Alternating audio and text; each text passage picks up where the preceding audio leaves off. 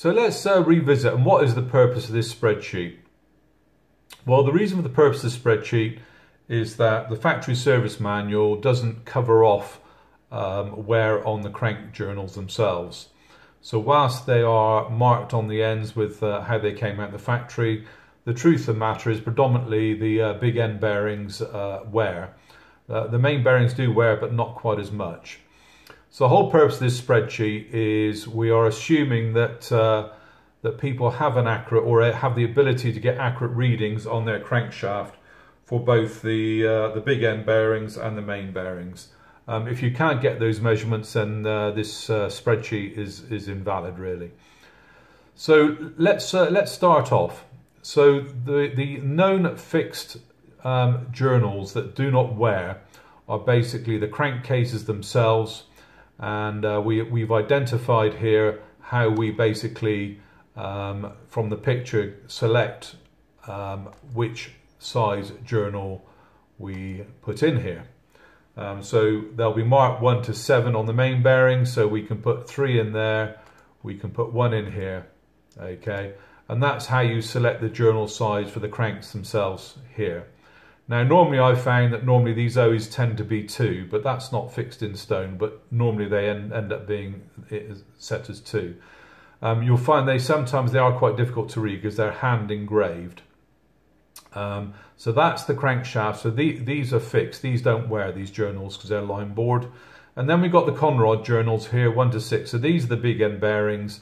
And on the side of the conrod, it's basically stamped one to three. Okay. Now this will vary on the 900s, but in essence, I think it's only the, the these here which will be ABC rather than 1, 2, 3, but the, the philosophy is the same.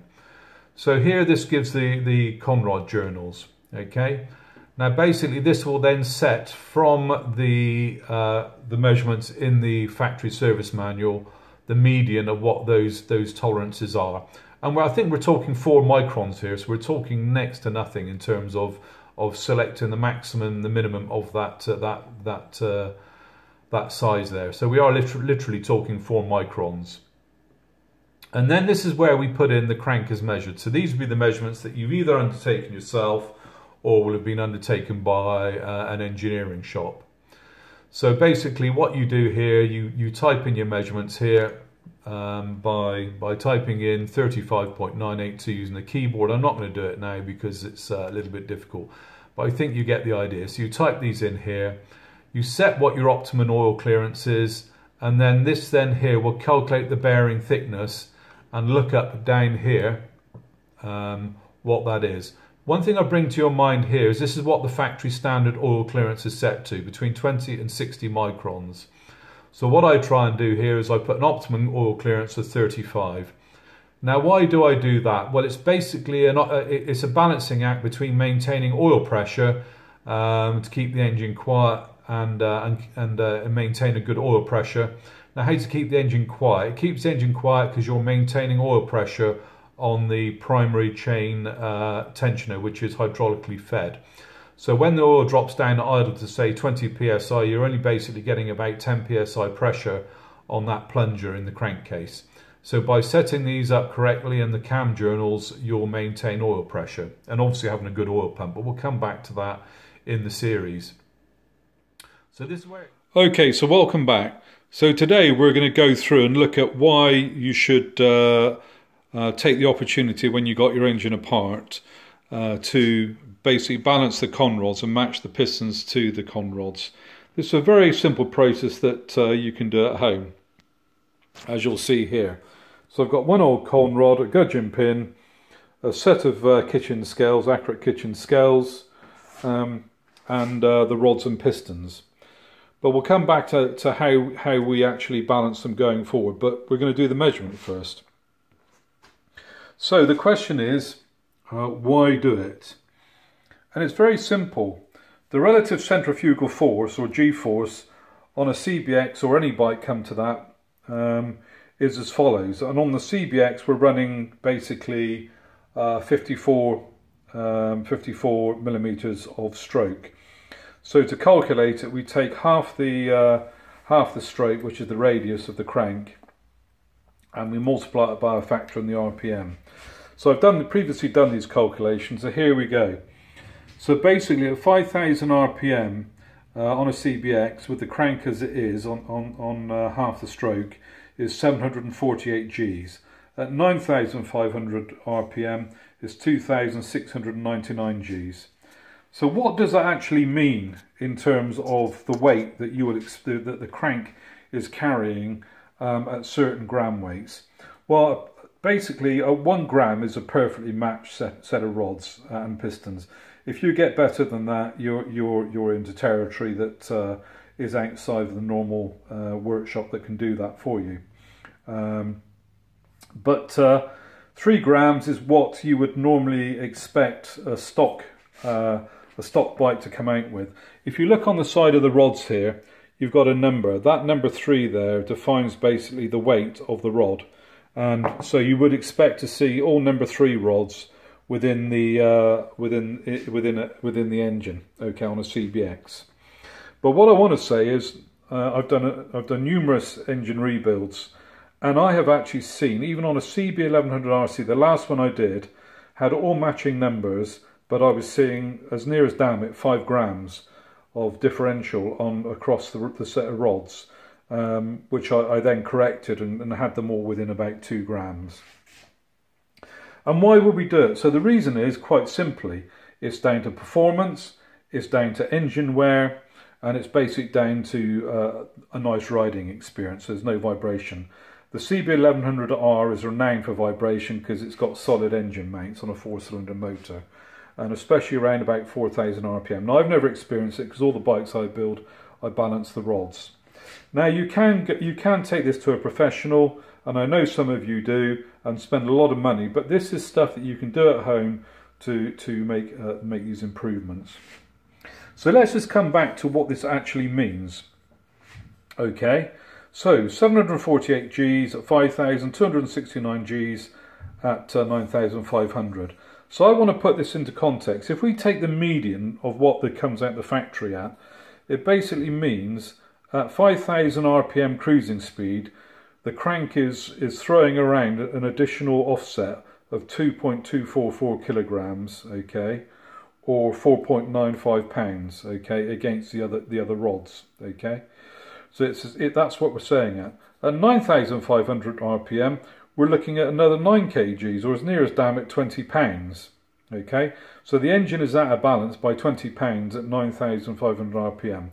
Then if we go to, to basically 5 grams, we're in, we're in territory which is, uh, which is unpleasant. Okay, so 3.74 kilograms at touring speed, that's about 75 miles an hour, um, or 8.23 pounds.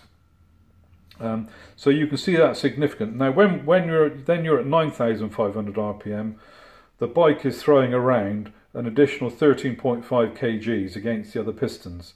So that you can see now where that, that vibration comes from. So if you're throwing around 20 pounds, or sorry, 30 pounds against another piston, you can understand why the bike's vibrating.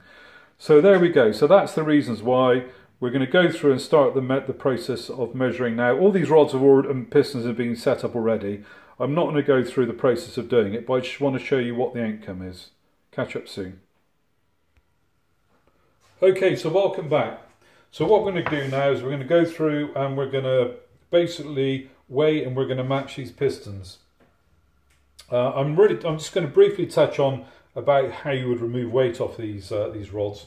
But the main thing today is, is to try and get so you can balance them to get a nice uh, nice ride out in the bike. So I really want to uh, just run a couple of things. On the rod, you've got two things. You've got a letter, which is the, the weight code, and on this side, you've got the, the, the number, which is the journal code. So the weight code in this particular instance is what we're interested in. So you can see here, this is stamped up with a C, and all these are Bs. Um, so on here, we've got a B. Now I just want to uh, share with you uh, what I was talking about earlier on, on my piece of paper. So if I weigh this B rod, okay, I'm reading 340 grams off that particular rod. If I put this C rod in, I'm reading 348 grams. So we can see there, there's 8 grams difference between a B and a C rod. So if you get these mixed up, you can do well, it probably won't destroy the bike, but it won't it certainly won't be a pleasant ride if you're running seven grams at nine and a half thousand RPM, multiplied by I think it was two thousand six hundred and ninety nine. So that's the reason we go through this process. So I've actually matched these rods up. So the first thing that, that you have to do is actually excuse the slip gauge on it. We'll come back to that. I've got it set up for expediency. So we're going to basically measure the weight of each rod. So number one is 340. Number two is 342, so that's within two grams. Number three is uh, 242. Number four is, two, is uh, 341. Number five is 342. And number six is 340. So they're all within uh, within a couple of grams. I'm not sure if I said 242, but it should be 340 grams that they're weighing. And that's without the uh, the bearings in, in the, the shell bearings in here. So next thing is, what we're going to do is just look at where the weight distribution is on the rod, because whilst this may be equal across the rods, we've got to check the weight here, because this is a lateral weight going up and down, and this here is the centrifugal rate weight doing that. So you can see that this is where the, the, the weight here is what's important. Now Honda will have obviously got that sorted out, but it's just worthwhile going through and checking here. So we're just going to do number one now, and we're going to weigh that. That's 294. We'll swap it over 180 degrees. That's 296 that way, so that's an average of 295. 295.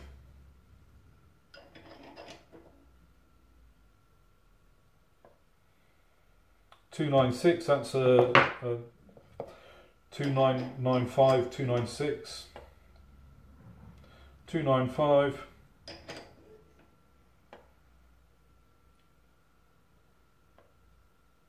Two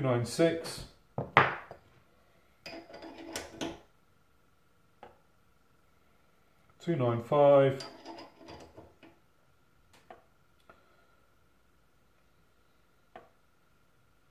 two nine 297, that's within two grams.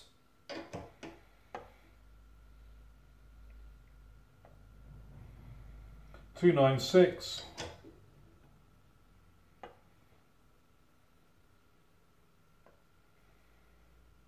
Two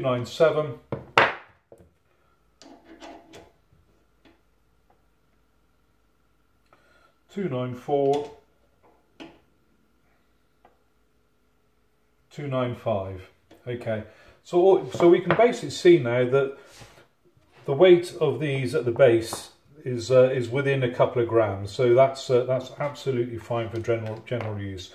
We're not trying to be a, a, race performance shop here. I'm just trying to get a nice ride out of this particular bike. So all those are good. So that's that. So I think I might have shown you, but so I've re removed a bit on here to get these bearings back. This was this was uh, about two grams over the rest of them. So I've just taken this back using a flapper wheel to bring this back here and here. But obviously by, by running on here, you can see where the weight distribution is at the top at the bottom and where to remove it. But I'm not going to go into too much detail.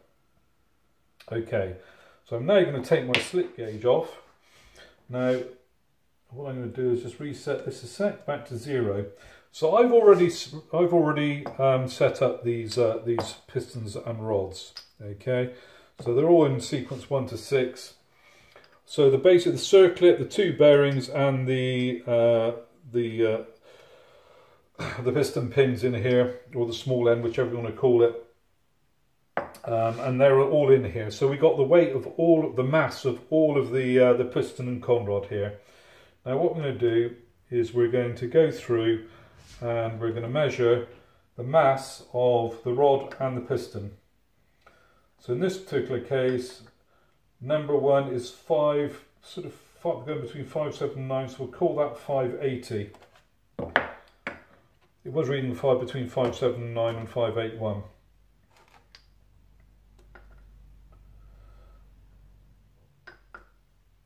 So that's 582, so it's more like 581 on the other one.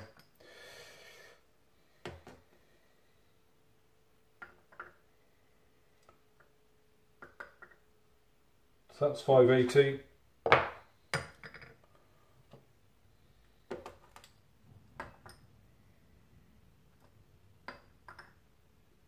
Five eight one.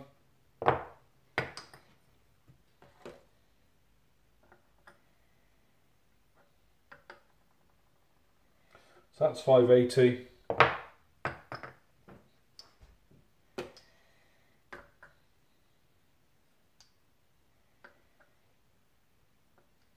So that one's 579. Okay. So we basically got three grams there. Now what I'm going to do is I'm just going to go back to, I think one was reading 582. 581. What I'm going to do is just have a go at swapping this around and see if we can get this better, as a better match. So that's 580 now. Let's just see what this one is.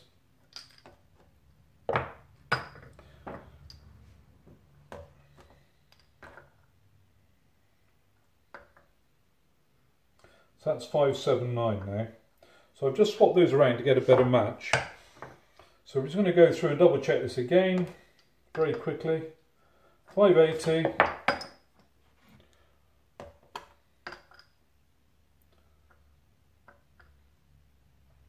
Five eight two.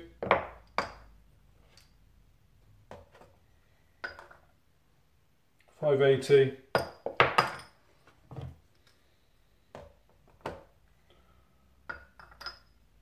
582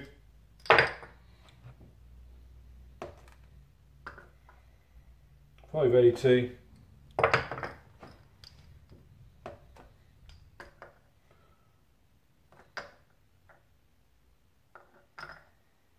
So we're getting 579 there. I'll go back and double check that. I want to get that, improve that. But you can see we're basically, basically within three grams there by mixing and matching. Now at the factory that could easily be seven or eight grams out and that's where your vibration comes through for the bike. This is all stuff that you can do at home.